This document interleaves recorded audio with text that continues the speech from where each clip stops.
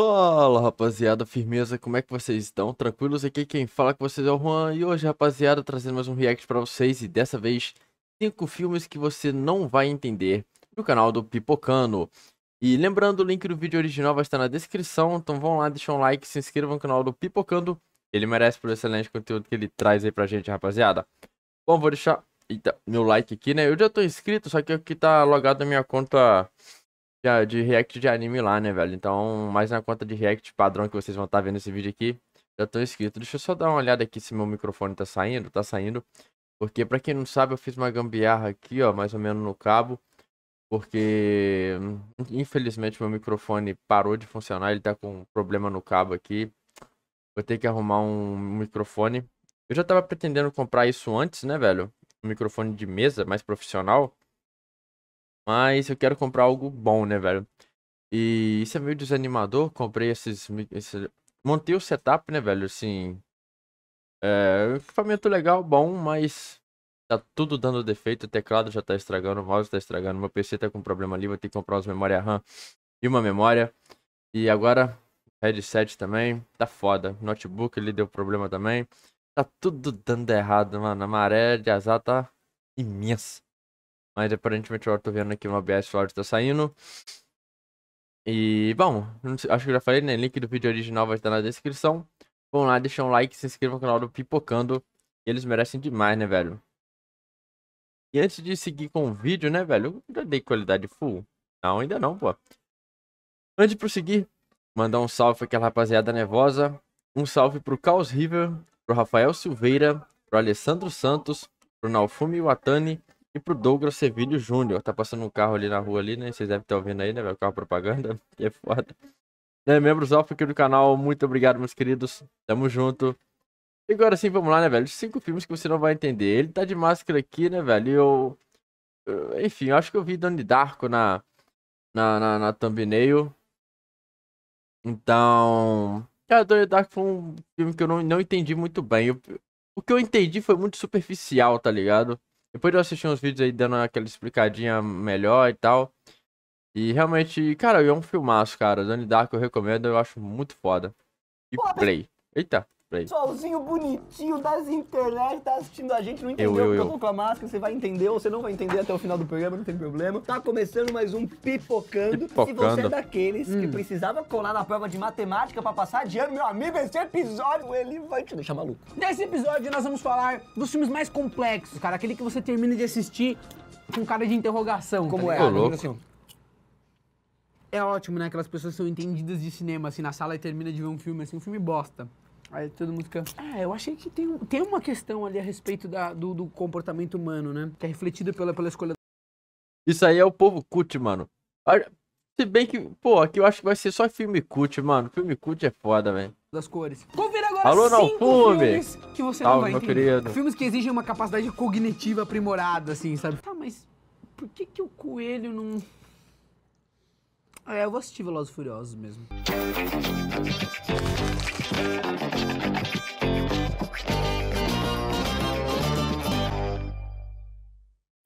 Filme da lista é um clássico cult e um dos meus filmes favoritos de todos os tempos, se não o meu filme favorito. Eu não vou falar isso porque eu acho pesado. É, é, um gordo hipster. Ele quer ser tudo, entendeu, Ronaldinho? Ele quer ser hipster, hum. ele quer ser nerd, hum. ele quer ser gordo, ele quer ser tudo, velho. Donnie Darko, galera, é um filme de 2001, dirigido e escrito pelo Richard Kelly e tem no elenco muita gente que hoje bomba em Hollywood. Que é o Gyllenhaal, que todo mundo conhece, que depois disso virou figurinha repetida em filme bizarro. Esse filme ele teve um lançamento fraco pra caramba, só conquistou sucesso e fez dinheiro bem depois do lançamento e só a galera hipster Quando mesmo caiu na graça dos hipsters, é, é. galera. Ele custou só 3,8 milhões e é o único filme do Richard Kelly que prestou. Big Depois Mac. disso, o cara só fez filme frank. O filme conta a história de um menino chamado Donnie que tem vários problemas psicológicos. Ele é um garoto naipe rola, perturbado, esquisito.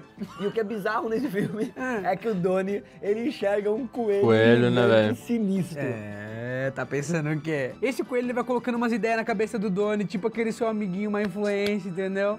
Ai, Dani, picha ali. Ai, Dani, usa droga aqui. Ai, transa ali. O filme ainda conta com a presença da vovó Morte, uma velhinha sinistra que mora numa casa macabra e olha todos os dias a caixa de correio, galera. Já sacou o naipe do filme, né? Esse filme, galera, tem duas camadas, né? A primeira tem os diálogos ali, aí tem muita crítica envolvendo o sistema de educação, relações humanas, pensamento sobre a morte, o bem e o mal, enfim. Tem uma filosofia ali que tá nesse primeiro plano. Já a segunda camada é sobre um tema de ficção científica muito recorrente que a gente não pode falar aqui porque é spoiler.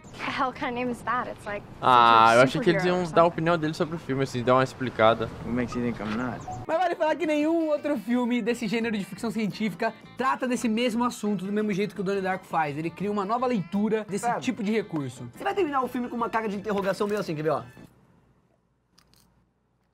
Você fica esperando que no crédito venha um manualzinho, assim. Inclusive, eu tenho muita vontade de fazer um vídeo sobre a minha, a minha, a minha teoria do Donnie Darko. É, porque foda. eu leio o filme de jeito diferente. Peça nos comentários aqui pro Bruno Bock deixar eu fazer. É um filme muito bom, vocês têm que assistir. Trilha sonora foda, atuações legais, atores novinhos que hoje são velhinhos, enfim.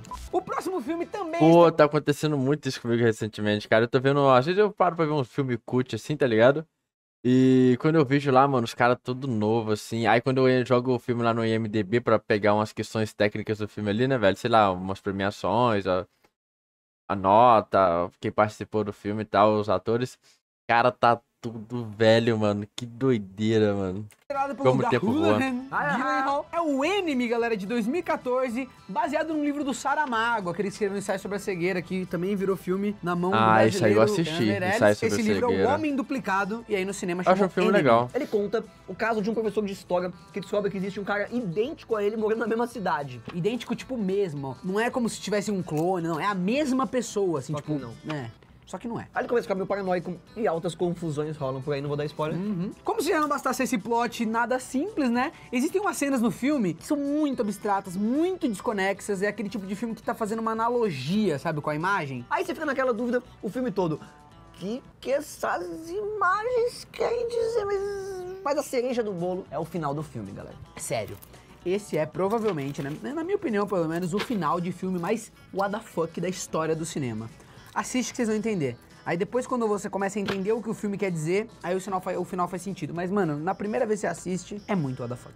E vale ressaltar uma coisa. Apesar de trazer muita coisa do livro do Saramago, a viagem do filme é diferente do livro, tem mensagem diferente. É, não, tipo assim, o final do filme é diferente, ele fa fala de assuntos diferentes, só usa a mesma ideia das pessoas duplicadas. Se você gostar do filme, vale a pena ler o livro também, né? os dois são diferentes, experiências diferentes. Primer é provavelmente o filme mais complicado de viagem no tempo que existe na face da Terra, quase 100% de certeza. Esse filme é muito Prime. confuso. A cada minuto do filme você entende menos o que tá acontecendo. É, é um filme que você começa a não entender, não sabe o que é o não, filme. Você começa termina... entendendo alguma não, coisa. Você não, sabe, você não sabe o que é o filme, você tá na dúvida, não sei o que é esse filme. Aí você termina com dúvida. Pô, até o momento só conheço, só conheço o, o Donnie Darko, velho. O resto aí que ele tá falando... cria um método de viajar Pô, no... o Homem Duplicado eu já ouvi falar. Esse eu já ouvi falar, tá ligado? Mas nunca vi, não. Agora esse Prime aqui, sinceramente, esse aqui não conheço não, nem ouvi falar. Um método que já é complicado pra caralho por si só. Envolve acionar sistema, entrar em caixa, mano, é... é, é Uma é, caixa dentro de outra caixa, é um negócio muito sinistro. Só o Rolandinho conseguir. Mas o que é mais complexo mesmo no filme é a bagunça que esses personagens fazem quando eles viajam no tempo. Sério, começa a existir várias linhas do tempo simultâneas, uma influenciando na outra, viajando de uma... Tem, repete pessoas, você não vai entender nada. No final tem tipo, falar... tipo mil linhas do tempo. Ah, e não posso falar nada porque senão vai ficar... O spoiler fica incontrolável entendeu? Uhum. Você fala ele, aí ele, ele, ele... Tá, que criou é um engenheiro e disse que a pretensão era fazer um filme bem complexo mesmo. Que ninguém entendesse nada. Conseguiu, troféu joinha. Esse filme ele foi feito, inclusive, com 7 mil doletas, dinheiro de pinga de Big Mac, Nossa, que dá pra comprar um, um número 1, um, número 2, número 4, número 6, número... Mas ele arrecadou 400 mil dólares, olha que foda. Quintrestruplicou o dinheiro ele inicial. Ele comprou o Big Mac e terminou comprando o Outback. E o Shane Carrot, ele fez praticamente tudo sozinho, ele dirigiu, roteirizou, atuou, até Caralho. a trilha sonora do filme o cara fez. Muito parecido com o cara que é fez eu aqui no canal, mano. Moon também, que fez tudo. Projetos que o cara vai lá e faz até a trilha sonora, que não tem grana. O filme é denso e difícil de acompanhar e é um esforço muito legal pra criar uma história complexa, por isso vale a pena dar uma olhada, tentar entender. Explica aqui embaixo. Vale a pena achou. o seu tempo. Sacou? O próximo da lista é Co Rivers. É coerência em inglês, galera. Esse filme mostra acontecimentos estranhos que rolam durante Bicho, a passagem que? de um cometa Co pela coerência, Terra. Né? O filme se passa quase todo dentro de uma sala e mistura vários conceitos de ficção científica, como viagem no tempo e realidade paralela. Uhum. Esse filme também teve um budget muito baixo, foi 50 mil dólares, foi feito apenas com uma locação e as gravações duraram nove dias, galera. Tipo, foi muito rápido, muito facinho de fazer. O resultado ficou foda. Além de ser um sci-fi bom bom rola uma tensão psicológica forte no filme. E no final você vai ter que parar, respirar, pensar por uns minutos e aí sim você talvez vislumbre o que rolou na sua tela. Cara, eu fiquei impressionado porque realmente esse filme ganhou um montão de prêmio. O cara, velho, pegou um orçamento muito baixo, fez um sci-fi. Tem uma aprovação muito foda. 85%. Porra, pra um filme que, que, que, tem um orçamento baixinho assim, gravado em nove dias. Vale a pena. Esse filme é muito bom, eu recomendo. Muito foda. Olha o Lynch aí, minha gente. Mulholland Drive David é um filme Lynch. do David Lynch, que é um diretor Também não conheço, mano. Caralho. sobre a psicologia, a psique humana. O nome do filme, que em português é Cidade dos Sonhos. Nome merda. Que dá spoiler. Ah, então acho que eu já, eu já ouvi falar, mas também não vi. Bosta. Bosta. Mas o nome original faz referência a uma rua famosa de Los Angeles. Esse filme também tem aquelas hum. cenas subjetivas que o Enemy usa, que quando aparece você fica com cara tipo de umas imagens, umas coisas acontecendo estranhas. Você fala, velho, o que, que isso tem a ver com a história? Uma mina, Bakemonogatari, velho. Tô acostumado já, velho. Cara verde, monstro. E o filme, ele é bem complexo. Atenção extrema pra conseguir acompanhar o que tá acontecendo, já que de vez em quando fica difícil se situar no tempo e no acontecimento. Sabe aquele filme que tá mostrando uma cena, aí volta pro passado, aí de repente transiciona a câmera pro futuro, aí vai pro mundo imaginário. A pena é que o filme, ele é um estudo sobre a busca pela identidade. O Lynch, ele é mestre em criar essas mensagens, essas analogias, essa simbologia, essas coisas terminam com gias. Ah, os psicólogos, velho, ficam loucos nesse filme. Eles adoram o Lynch, eles querem, velho. Justamente por isso esse filme é cultuado pelos psicólogos e estudiosos da área, além de ser venerado pelos cultos. Ainda vai ter um pipocando aqui. Olha aí, ó. É coisa de cut, mano. Coisa de cut é foda, mano. Os cut vão dominar o mundo daqui a pouco, velho. Caralho, eu entrei na tela do, do OBS e eu apertei espaço, mano. Eu esqueci que o espaço para de gravar, mano. Tomar no cu. É foda, perdão aí, desculpa aí. Sobre o Lynch, aguarda. Enquanto isso, vai uhum. assistindo o Mulholland Drive aí, estudando. E vê o pipocando sobre o, o... Não é o Lynch, é o outro. O Finch, é, que é nome parecido. E aí, meu povo, vocês ficaram confusos? Eu fiquei. É só assistir o Pipocando mais uma, duas ou três vezes que você vai acabar entendendo tudo que rolou por aqui hoje. Tem vários Perfeito. outros filmes cabeças, galera. Então se você lembra de algum que você gosta, deixa aí embaixo. Quem sabe rola uma parte 2 dessa lista. Curtiu o vídeo? Deixa o like aqui se inscreve no canal. Muito obrigado por acompanhar o canal. Não, calma aí, não deixe de acessar as nossas redes sociais, assistir as outras listas do Pipocando. A gente sempre deixa aqui um link pra você assistir todas, cara. Gastar todo o seu tempo livre, entendeu? É a do plano de dominação Pipocando. Meu Instagram também, e o do Rolandinho também. Um beijo e tchau. Dá like na sua vida. Bom, bom, bom, bom vídeo. Ai, Rolandinho. Se você não é minhas negras, quem será então? Não, é, pois é, é o Samuel. Eu sei. Calango e outros quatro acabaram de compartilhar Saci, o filme, trailer oficial do YouTube. Meu Deus, isso deve ser muito bom. Saci, o filme. Caralho, velho. Cara, muito foda, muito foda. Parabéns pipocando pelo vídeo. E é aquilo que eu falei, realmente, cara. O Donnie Dark eu assisti, o resto aí eu nunca vi. Mas o, o Cidade dos Sonhos e Puta merda, eu esqueci do outro, velho, ali que falou, mano. Não, esse que é o Dani ainda, velho.